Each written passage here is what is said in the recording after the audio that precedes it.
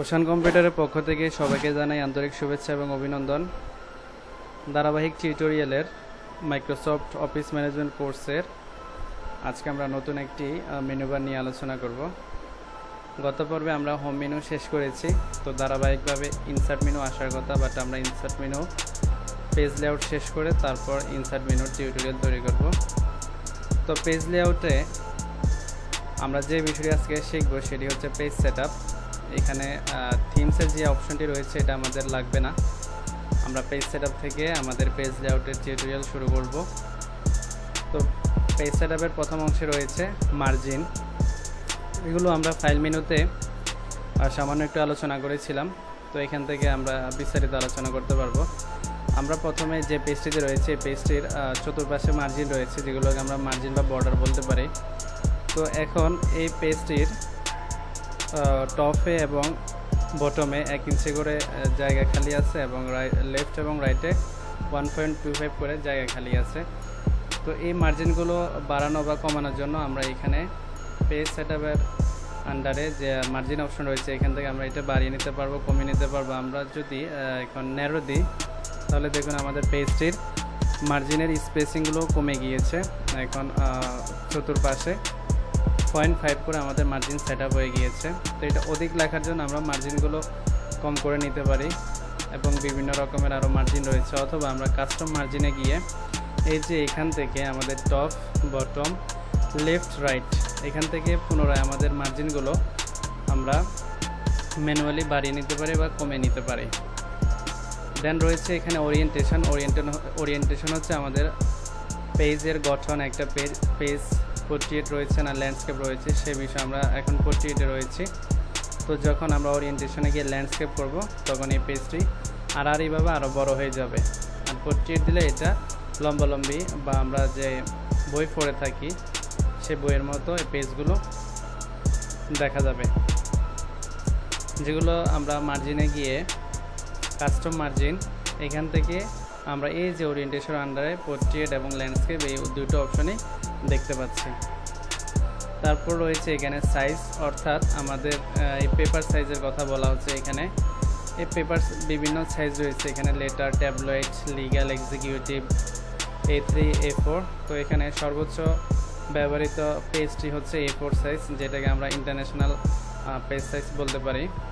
এছাড়া এখানে মোর page size এখানে যাওয়ার পর আমাদের সেই মার্জিনের অর্থাৎ পেজ সেটার অংশটি চলে আসবে, যেখানে আমরা মার্জিন মার্জিনের বিষয়টি একটু আগে দেখিয়েছি, তার পাশে এখানে পেপার নামের সে অংশটি রয়েছে।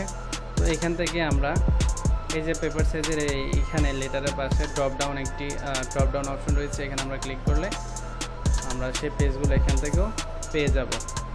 তো এই হচ্ছে আমাদের পেপার সাইজ দেন এখানে রয়েছে কলামস কলামস হচ্ছে আমরা বিভিন্ন পত্রিকা পড়ার সময় সেখানে দেখতে পাই যে এত নাম্বার পৃষ্ঠামের পৃষ্ঠার এততম কলাম অর্থাৎ ওই পিস, কলামের পৃষ্ঠে যাওয়ার পর আমরা দেখতে পাই যে দেখা যাচ্ছে বা দশটা, বিশটা বা তার অধিক কলাম দেখা যাচ্ছে। তো সেটা করার জন্যই এই যে এখানে কলাম যে অপশনটি রয়েছে সেটা ইউজ করা হয়।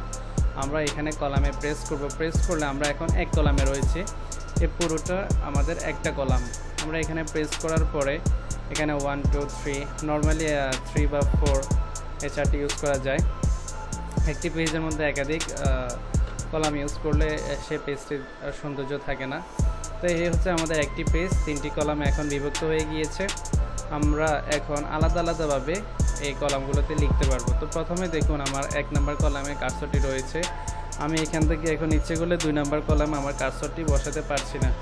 তো সেই জন্য আমাদেরকে যা করতে হবে, এই যে কলামের পাশে এখানে একটি ব্রেক্স নামে অপশন রয়েছে। আমরা এই ব্রেক্সের ক্লিক করব দেন এখানে যে কলাম রয়েছে ব্রেক্সে এখানে যাওয়ার পর একটি হচ্ছে পেজ ব্রেক এবং কলাম ব্রেক এই কলামের মধ্যে আমরা ক্লিক করব। তাহলে দ্বিতীয় কলামে আমাদের কার্সরটি চলে আসবে। হুবহু আমরা তৃতীয় কলামে যাওয়ার জন্য ব্রেকসে গিয়ে কলাম ব্রেক এটি ইউজ করব।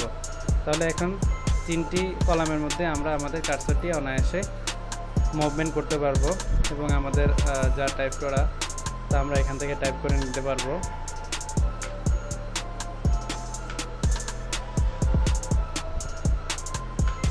তো এইভাবে আমাদের প্রয়োজন অনুযায়ী আমরা আমাদের কলাম বাড়িয়ে নিতে পারি, কমিয়ে নিতে পারি বা এখানে কলামের মধ্যে আমরা প্রেস করার পর নিচে একটি অপশন দেখা যাচ্ছে মোর কলামস আমরা মোর কলামসে ক্লিক করার পর এখানে আমরা এখান থেকে তিনটি কলাম নিয়েছি।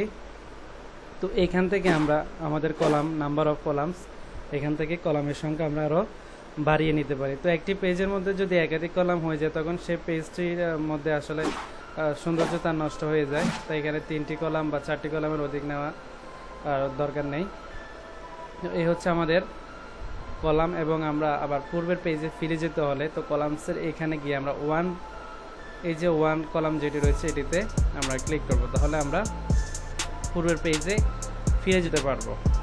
দেন এটির পাশে যেটি রয়ে, যেগুলো রয়েছে লাইন নাম্বারস এগুলো আমাদের প্রয়োজন নেই হাইপারনেশন এটার প্রয়োজন নেই।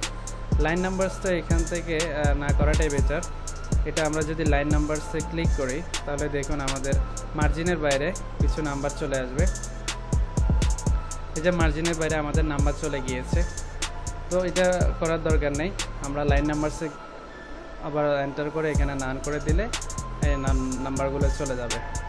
তো এই হচ্ছে আমাদের পেজ লেআউটের আজকে পেজ সেটআপের বিষয়। ভিডিও টিউটোরিয়াল লং হয়ে যাবে বিদে আমরা এক টিউটোরিয়ালের মাধ্যমে অধিক অপশন নিয়ে আলোচনা করছি না। তো পরবর্তী ভিডিওতে অবশ্যই আমরা এখানে পেজ ব্যাকগ্রাউন্ড এবং প্যারাগ্রাফ এই দুটি নিয়ে আলোচনা করব। তো ইনশাল্লাহ পরবর্তী ভিডিও পাওয়ার জন্য অবশ্যই আমাদের পেজটিতে লাইক দিয়ে অ্যাক্টিভ থাকবেন। ভালো থাকবেন। আল্লাহ হাফেজ।